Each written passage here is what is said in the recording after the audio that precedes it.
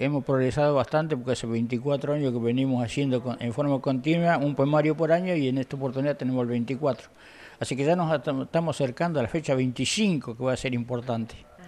Ese día, el día domingo, va a ser a las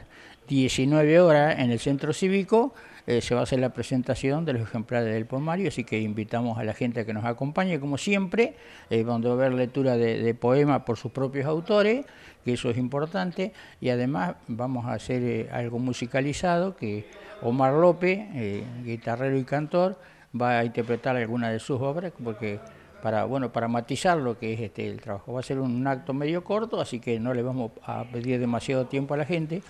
pero antes de, la presentación del poemario, en la rambla nativa, frente a la Casa del Niño, vamos a poner un árbol, que en este caso es un caldén, porque ahí están todos los árboles autóctonos, así que bueno, eso lo provee la municipalidad, tenemos que agradecerle eso, así que bueno, ese acto se hace porque nosotros estamos adheridos a,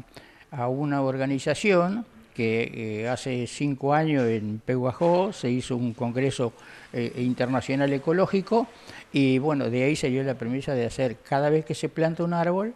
cada vez que se presenta un libro, mejor dicho, plantar un árbol para devolver a la naturaleza lo que le estamos sacando con las hojas de los libros. Contiene eh, poesías muy variadas, tiene algo de 140 páginas, así que hay un montón de poemas y también hay algunas narrativas, porque hace unos años incorporamos narrativa porque había personas acá en Trenquelauquen que les interesaba publicar y no publicaban poesías, no, escribían, entonces ahora hacemos este doble participación, los poemas, los que escriben poemas y los que escriben narrativa, así que están incluidos todos.